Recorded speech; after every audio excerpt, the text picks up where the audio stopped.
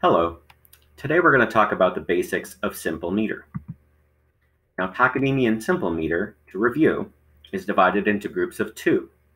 We have our beat, our quarter note, which is divided into two eighth notes in our divided beat, and is subdivided into four sixteenth notes.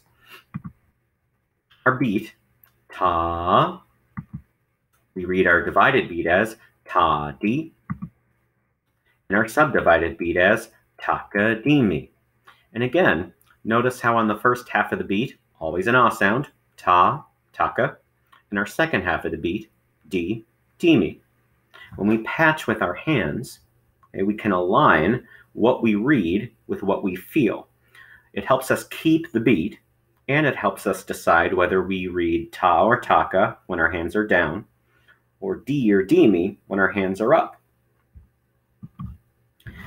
Now these arrows are going to help us with our hands. If you don't remember, you can just follow the arrows. My beat, ta, my divided beat, ta di, and my subdivided beat, taka di mi.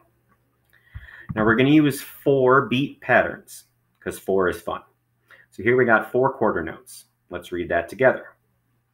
Ta, ta, ta, ta. Let's divide those beats. Now we got four groups of divided beats, our two eighth note pattern. Let's read this one. Ready, go. Ta di, ta di, ta di, ta di. Now we're going to subdivide those into four four 16th note groups. Let's read this one together. Ready, go. Takadimi, Takadimi, Takadimi, Takadimi. And those are the basics of Takadimi simple meter. So we're going to randomize those patterns and we're going to read those to see how we've learned. Now I went to metronome, uh, well, I went to Google and I just typed the word metronome and a metronome pops up. So we're going to use that to help us keep time and I set it to 50 beats per minute just in case you want to use this uh, setting later.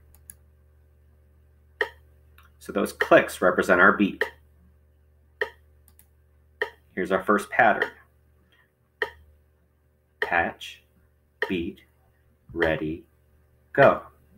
Ta, ta, di, ta, ta, di, ta, di, ta, ta, di, ta ta di ta Takadimi ta ta Takadimi uh, ta di ta ta di Takadimi uh, Takadimi uh, ta di Takadimi ta Takadimi ta di.